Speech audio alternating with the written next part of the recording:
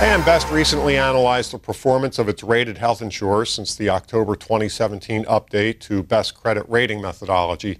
Here to discuss this analysis is Associate Director Bridget Maehr. And Bridget, how fundamental is BCAR to uh, the balance sheet assessment, and also are there any other factors? Uh, BCAR score levels are critical to our analysis because they helped um, assess the risk inherent in rating units, investment and insurance operations relative to available capital.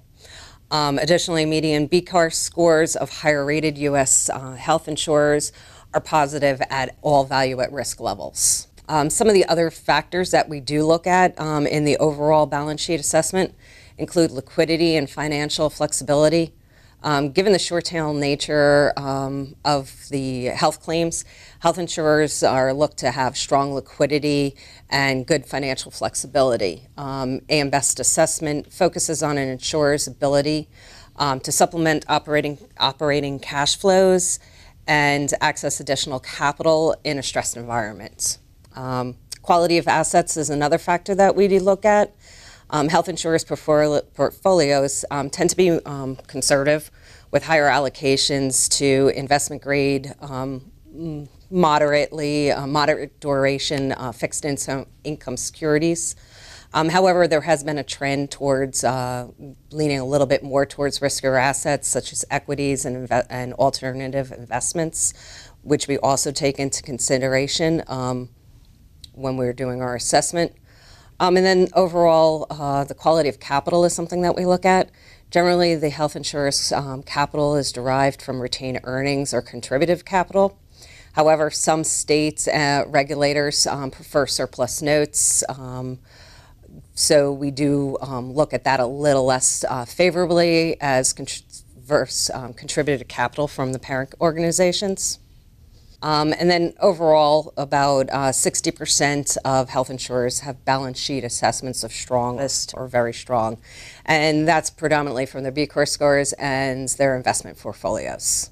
Are there any other metrics that AM Best uses in operating performance assessment? Um, we look at return on revenue, return on equity, and combined ratios.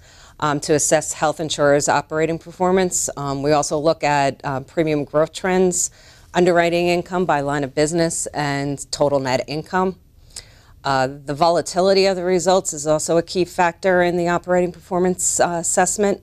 As stable earnings trends is a key driver of consistent capital growth, um, while volatile results are a primary driver of capital deterioration. Higher operating assessments typically have lower volatility in the results. Um, overall, 57% of the health rating units um, operating performance assessments are adequate, while health insurers have generally reported profitable underwriting results and modest to moderate premium growth. Operating mar margins for the uh, health insurers tend to be on the lower side. What are the factors that are considered in the business profile assessment? Um, we consider um, market position, uh, level of competition, um, geographic and product diversification, and the regulatory environment. These are some of the factors that we're looking at in the business uh, profile assessment.